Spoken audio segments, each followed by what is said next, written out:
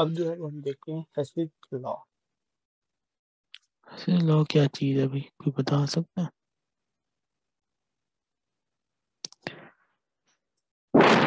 This law states that the enthalpy change delta H for reaction is independent of the path taken provided initial and final conditions are the same. ठीक हो गया आप कहते हो कि एक reaction हो रहा है ए टू सी ठीक है। अब आप कहते हो कि इधर से एक अल्टरनेट रिएक्शन भी है बी तो ज़रूरी है कि ए से सी आप सीधा जाए। आप ए से बी भी जा सकते हैं बी से सी भी जा सकते हैं। दोनों तरीकों से रिएक्शन तो हो रहा है ना। तो कोई फ़र्क नहीं पड़ेगा डेल्टा एच की वैल्यू में। ठीक है।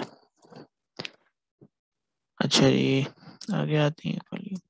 जैसे ये एक रिएक्शन है ए प्लस बी सी बना रहे हैं। अब ए प्लस बी से आप एफ़ प्लस इधर एफ़ प्लस जी में जाए एफ़ प्लस जी से सी बनाए, कोई फ़र्क नहीं है। या ए प्लस बी से एक्स बनाए, या एक्स से फिर वाई प्लस जी बना के फिर सी बनाए तो कोई फ़र्क नहीं है। ये इनडायरेक्ट रूट है, ये इनडायरेक्ट रूट है, ये डायरेक्ट रूट है। ठीक हो गया। अच्छा बस ऐसे लो ये कहता है, और इसमें ज़्यादा कोई और बात नहीं है। thank you